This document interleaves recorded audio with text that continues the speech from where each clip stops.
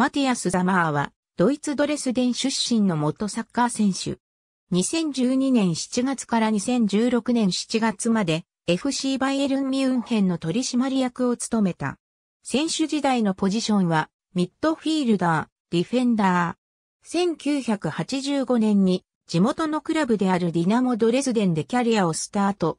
当時東ドイツの支配下にあったため、強制的にシュタージのフェリックス・ジェルジンスキー衛兵連隊に所属していた。1990年に VFB シュトゥットガルトへ移籍すると、1992年には攻守にわたる活躍が認められて、セリエ A インテルへ移籍、ユベントス FC 相手にゴールを決めるなど、11試合4ゴールと結果を残すが、イタリアのメンタリティに合わず、シーズン途中にボルシアドルトムントへ移籍、移籍後は2000年の引退までチームの守備の用としてプレーし、1995から96シーズンにはリーグ優勝を果たし、また代表では欧州選手権優勝に貢献した活躍から欧州最優秀選手賞を獲得した。1996から97シーズンにはボルシアドルトムントの UEFA チャンピオンズリーグ初優勝に貢献した。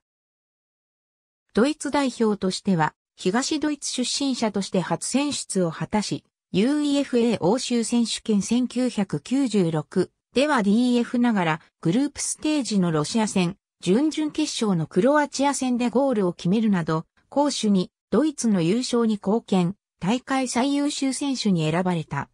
膝の故障に苦しみ、引退直前の2シーズンはほとんど試合に出ることができなかった。引退後は指導者としての道を歩み、ボルシア・ドルトムントや VFB シュトゥットガルトの監督を務め、2006年のドイツサッカー協会のスポーツディレクター就任を経て、2012年にバイエルンミュンヘンの取締役に就任。2016年7月に同クラブを退団した。ボルシア・ドルトムントの監督としては、ブンデスリーガ優勝も果たした。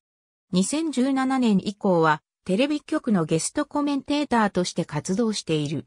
2018年4月、ボルシア・ドルトムントの顧問に就任した。一般に、リベロは攻撃の組み立てに参加しつつ試合をコントロールするセンターバックではあるが、ザマーはそれに加え DF ラインから前線に顔を出す、シャドウストライカーの仕事もこなした。ドルトムントでは、ジュリオ・セザールとミヒャイル・ツォルク、代表では、トーマス・ヘルマーとディーター・アイルツ、と能力の高い CB と、カバーリングに優れた守備的 MF に恵まれ、ザマーは、高い身体能力を活かした素早いオーバーラップで、たびたび前線に飛び出し、流れの中から得点を挙げた。3バックの中央であるがほとんど DF ラインの前でプレイしていたことから、日本ではフォアリベロというサッカー用語が一時定着した。